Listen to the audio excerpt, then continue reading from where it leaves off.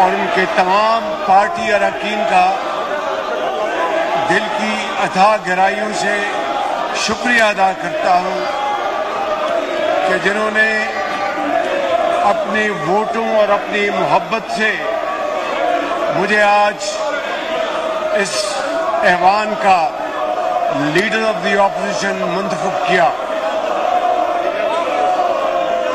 कि उनकी साहबजादी मोहतरमा, बेनज़ीर भुट्टो शहीद ने जमहूरियत, कानून और इंसाफ के लिए अपनी जान का नजराना पेश कर दिया।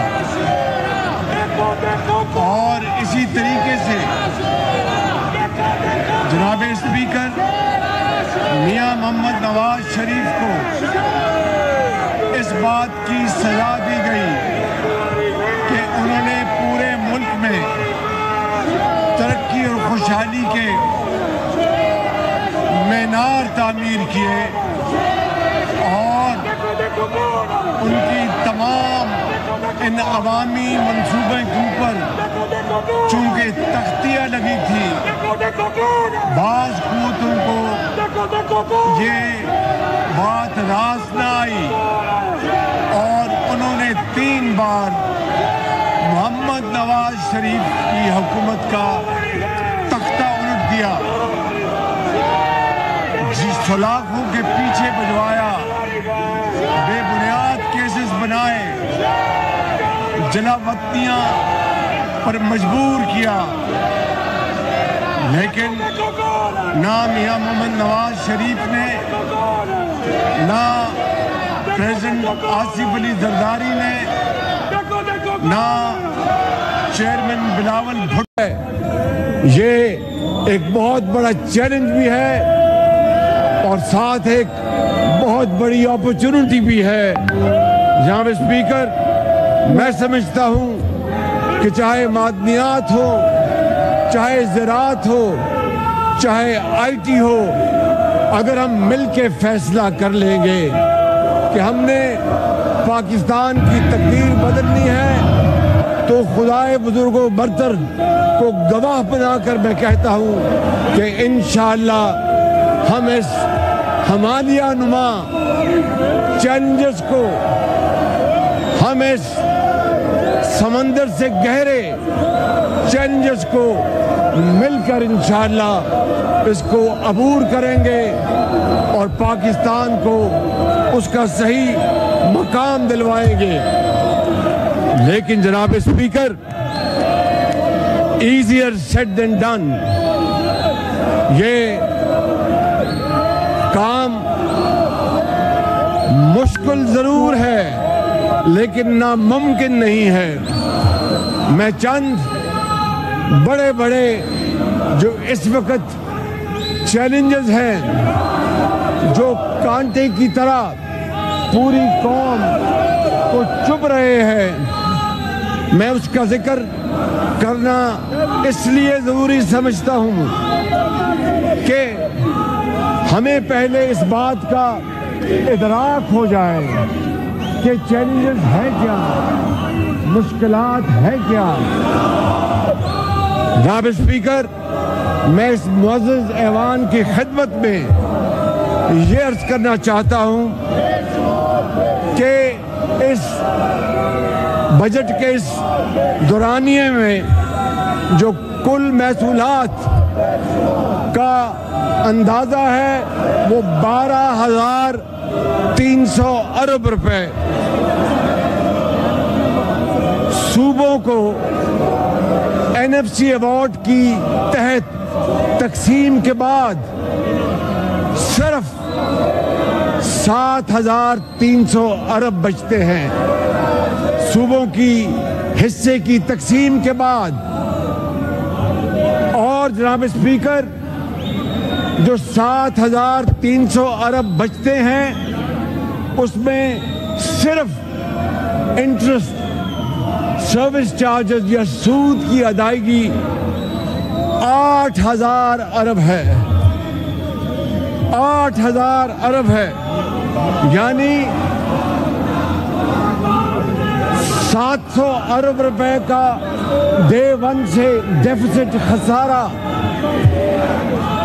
अब आप मुझे बताएँ जनाब स्पीकर कि 700 अरब रुपए का खसारा डे वन से हो तो फिर तरक्याती मंसूबों का पैसा कहाँ से आएगा? तालीम, इलाज और समाज के लिए पैसा कहाँ से आएगा? अफाज पाकिस्तान की तनख्वाहें कहाँ से देंगी? सरकारी अफसरान जो वफाक में हैं, उनकी तनख्वाहें कहाँ से देंगे? जनाब स्पीकर, ये बात मैं दुखी दिल के साथ कह रहा हूँ कि ये सब कुछ कर्ज, दर कर्ज लेके दिया जा रहा है। पिछले कई साल से और ये है वो सबसे बड़ा चैलेंज जो आज पूरी पाकिस्तानी कौम 25 करोड़ आवाम का सबसे बड़ा आज ये संगीन मसला है।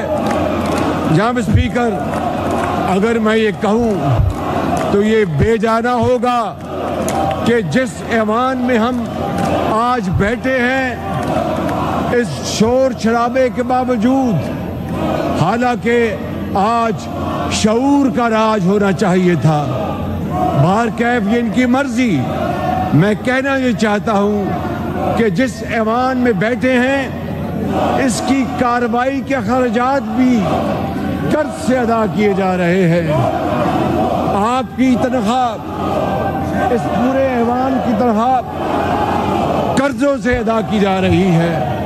तो क्या ये सूरत हाल इस बात की मुतकाजी है कि शोर शराबा किया जाए या शऊर को फरोग दिया जाए, ये फैसला जनाब स्पीकर इस ऐवान ने करना है और तारीख इसका फैसला करेगी। इस तरह जनाब स्पीकर, हमारी सूरत हाल अब ये हो चुकी है कि आज तक हम अस्सी हज़ार अरब एटी थाउज़ेंड बिलियन रुपीस के हम बैरूनी, अंदरूनी और प्राइवेट कर्जे ले चुके हैं। क्या इस सूरत हाल में एक अजीम 9 मई को जीएचक्यू में कोर कमांडर हाउसेस में एयरफील्ड में हमले किए गए। जनाब स्पीकर ये दिलखराश वाक्य देखती आँख से कभी नहीं देखा था। एक पाकिस्तानी ने कभी नहीं सोचा था। जनाब स्पीकर क्या बीती होगी उन शोहदा के वरसा पे? क्या बीती होगी उन हज़ारों घरानों में जिनके प्यारे अपनी जान हथेली पर रखकर वतन अज़ीज़ की खातर अल्लाह को प्यारे हो गए, जिन्होंने मर्दाना वार दहशत गर्दी का मुकाबला किया और दहशत गर्दी के मुकाबले में नवाज़ शरीफ का फैसला था। कि अब पानी सर से गुजर चुका। अब हमें दहशत गर्दी के खिलाफ मुतहद हो जाना चाहिए। जनाब स्पीकर, जिन कड़ियल जवानों ने अपने जान पेश करके वो अपने बच्चों को यतीम कर गए, लेकिन कौम के लाखों बच्चों को महफूज कर गए। उनकी बीवियाँ बेवा हो गई, मगर लाखों माएँ और बहनें महफूज हो गई। यहाँ पर स्पीकर ऐसी लीडरशिप ऐसा जत्था, क्या ये बात काबिल माफ़ी है? ये फैसला इस मोजिज ऐवान ने करना है। ये फैसला इंसाफ और कानून ने करना है। जनाब स्पीकर, मैं यह करना चाहता हूँ, हमारे सामने दो रास्ते थे। एक रास्ता ये था कि हम अपनी सियासत बचा लेते और आराम से बैठे रहते। और दूसरा रास्ता था कि मुल्क को बचाने के लिए हम हर चीज़ की कुर्बानी दे दें।